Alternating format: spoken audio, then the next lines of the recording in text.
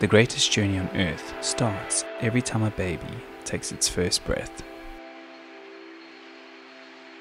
Limitless potential locked up, just waiting for the opportunity to blossom.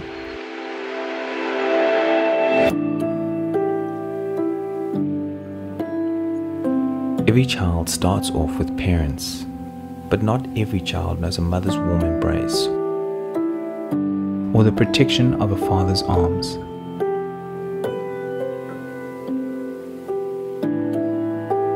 South Africa has over 3.7 million orphan children,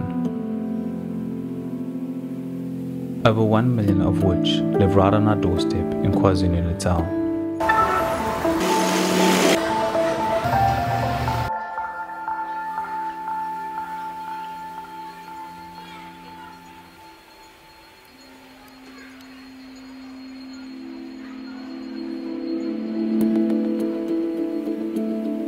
Without the guidance of loving parents, the path of these children's lives are fraught with danger. With the potential to fall through the cracks of a broken society and lose their way in the darkness. But in the darkness, light is a beacon that can be seen a very long way away. People everywhere in our community are pushing back against the tide of hunger, neglect, and hopelessness. Without the help I received from North Coast Courier, it was not possible for me to achieve my dream of becoming a quantity surveyor.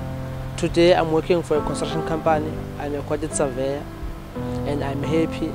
Without them it was impossible for me to achieve it. The need um, in these areas is huge. For more than 12 years, the North Coast Courier Orphan Fund has supported and celebrated organizations and individuals who make a difference on the North Coast, helping orphaned and vulnerable children to set firm foundations on their journey to adulthood. We wanted to harness the power of the press in the North Coast Courier to give them a voice the North Coast Courier Orphan Fund uh, has been really, uh, you know, we we really blessed to have them uh, as part of, of helping us and giving hope to, to, to the children. The Orphan Fund is doing a magnificent job, and in supporting them, they supporting myself and, and so many others that are supporting these uh, uh, people with needs out there. It's not one person's issue, it's all of ours. And if each of us did a little part, um, we would be able to help our whole community, you know, and then from there the next community would help the next community. And that's how it should be.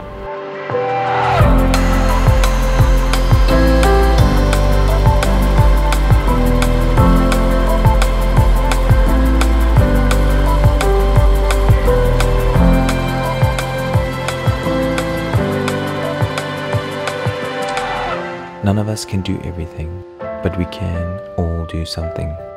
No matter how small the seed we plant in a child's life, there within lies the potential to change the world. Where was I when I let you decide?